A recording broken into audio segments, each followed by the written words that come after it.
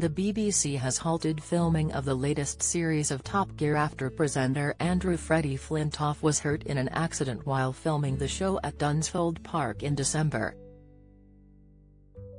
The public broadcaster said that it was inappropriate to resume production of the 34th series and that a decision on the show's future would be made later this year.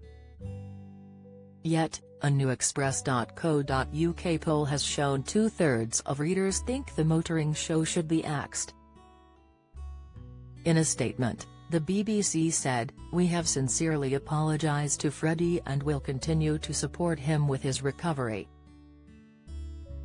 We understand this will be disappointing for fans, but it is the right thing to do and we'll make a judgment about how best to continue later this year.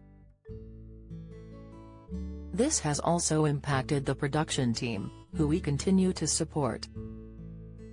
Mr. Flintoff joined the popular show in 2019 alongside Paddy McGuinness and Chris Harris.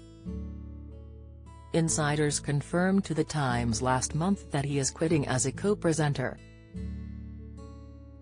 In a poll that ran from 9.45 am on Tuesday, March 28, to 10. 45 am on Friday, April 14, Express.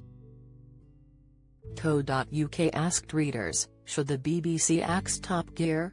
Overall, 1,146 votes were cast, with the vast majority, 67%, 771 people, answering, yes, it should be axed.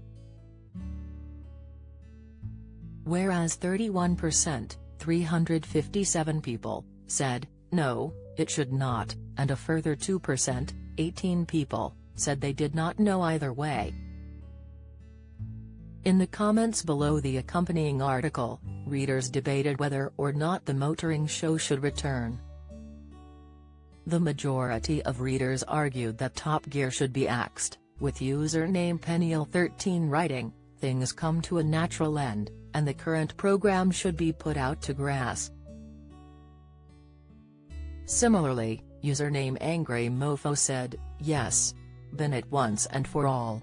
It was never the same without, Jeremy, Clarkson, James, May and, Richard, Hammond.